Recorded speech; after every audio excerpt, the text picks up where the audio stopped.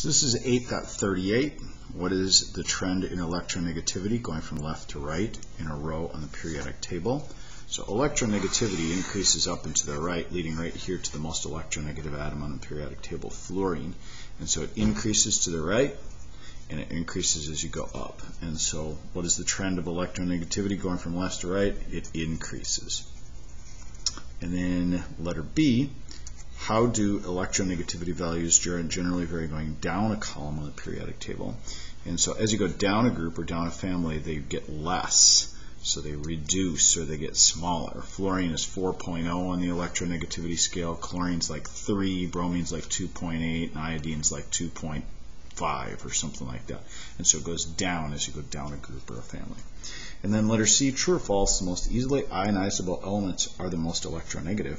So the most electronegative are these guys up here, and you need to know what ionizable means. And ionizable means that it can lose or loss an electron. And of course, fluorine has no desire whatsoever to lose an electron. It just wants to get electrons because it's the most electronegative. And so this is false. It does not want to, uh, they are not the most easily ionizable. They are the most difficult to ionize.